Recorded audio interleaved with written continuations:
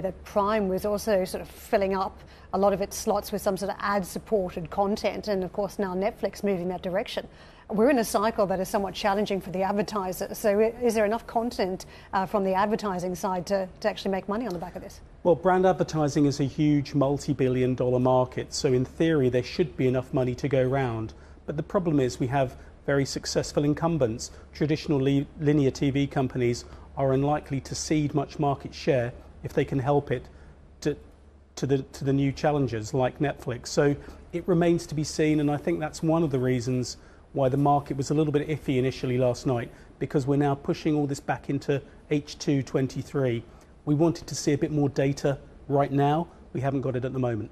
Just on subscriber numbers, what what clarity do we have here on the subscriber figures and the evidence that paying subscriber numbers are growing at the appropriate rate for their targets? A year ago, this company lost subs.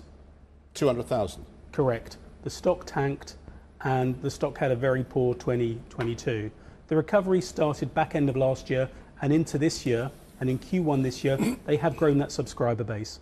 They are still monetizing North America much more efficiently, much more effectively than any other reason, and they are guiding to some subs growth in Q2. The numbers aren't great. We're not back in hyper growth mode, but we are growing again. who's going to be the losers in this sector? I mean, you, you mentioned well, on air and off air, we've mentioned a few. I mean, Karen's mentioned it, the NBC offering, Peacock, obviously Netflix, Prime, Apple, um, Disney Plus. You know, are they all going to make it? The conventional um, rule of thumb is that the average household will take three three right. services, three paid for services. And that's including Spotify as well, is it, or not? That excludes that Spotify. That's okay. focused purely on, on, on, what we might call Just, TV, okay, yeah. visual content. Um, but we are in a cost of living crisis and people are watching the pennies. So people's willingness to take above inflation increases in what they're paying for should be called into question. I would say the jury's probably still out on where we, where we end up. If I had to place a bet, I would say Netflix and Prime win out mm-hmm. and then there's a gap for who comes in third.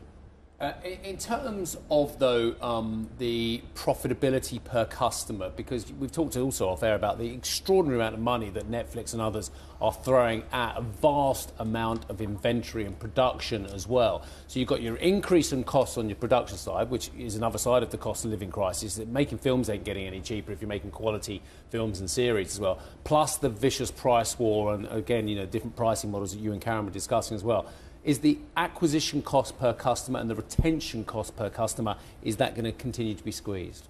I think it probably is. Um, we should point out to the viewers that Netflix are committed to spending $17 billion per annum on new content. That's a figure that they can justify because this is all that they do.